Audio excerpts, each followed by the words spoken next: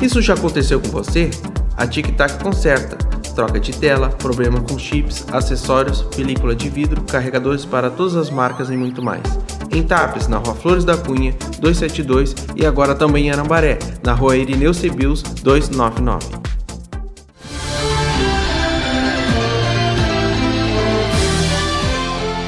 Nós vamos conversar com o deputado estadual José Nunes, do PT. Deputado, hoje o senhor aproveitou para conhecer TAPS e fazer algumas demandas aqui na cidade. Eu gostaria que o senhor nos dissesse uh, como é que foram as suas visitas e como é que o senhor se sentiu em TAPS hoje.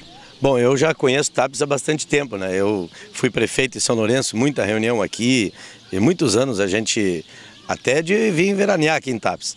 E o nosso dia, eu fui prefeito de São Lourenço, agora sou deputado estadual, é, e a nossa vinda hoje na, no passado nós tivemos em duas audiências públicas aqui na Câmara de Vereadores, tratando de segurança, tratando da questão de drogadição.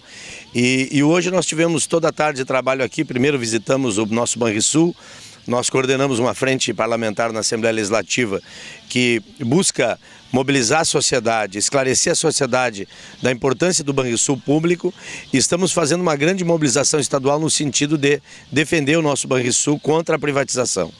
Também estivemos com o prefeito Silvio tratando das obras de duplicação da BR-116. Nós coordenamos na Assembleia uma frente parlamentar que mobiliza um debate e, e, e, e mobiliza politicamente a região para buscar com que o governo federal aplique mais recursos na obra, para fazer com que o governo do estado assuma uma fala positiva e reivindique essa obra também junto ao governo federal.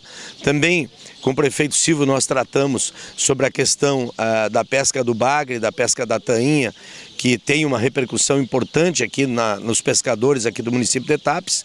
E agora daqui a pouco a gente vai se reunir né, com os pescadores para fazer uma avaliação é, de, de, de a quantas anda a questão da proibição da pesca do bagre e a, a, quanto que anda a questão da tainha, que a gente teve um avanço muito positivo na semana passada com relação à portaria interministerial. E também vamos falar com eles a respeito da mobilização contra a reforma da Previdência Social, que os pescadores artesanais, agricultores e mulheres serão muito atingidos com essa reforma, caso venha a ser aprovado.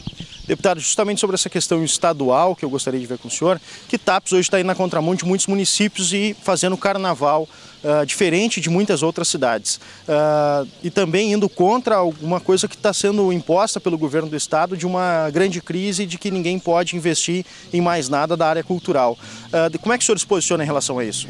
Olha, eu quero cumprimentar aqui a cidade, a sua população e o governo, porque é o seguinte, infelizmente o Estado do Rio Grande do Sul, pelo seu governo estadual, tem assumido um discurso muito ruim para o Estado, que faz muito mal. Nós vivemos sim um momento de dificuldade, né? nós temos uma dificuldade financeira que é fruto de uma crise muito grande e também fruto de uma grande, é, de um grande, de uma grande luta política daqueles que quiseram derrubar um governo e através da justificativa de uma crise implementar reformas só no campo da retirada de direitos e conquista dos trabalhadores, né? e o Estado infelizmente assume esse discurso de um Estado quebrado, de que aqui nada vai funcionar, fazendo um discurso negativo que não empolga ninguém e que afasta investimentos, que deprime a sua população e um governo estadual que não busca soluções positivas mas sim pelo campo né, do entreguismo, pelo campo que não é o campo que a gente sabe que dá certo. Né? Já, o Estado já viveu, no, tempo do Brito, uma, exatamente uma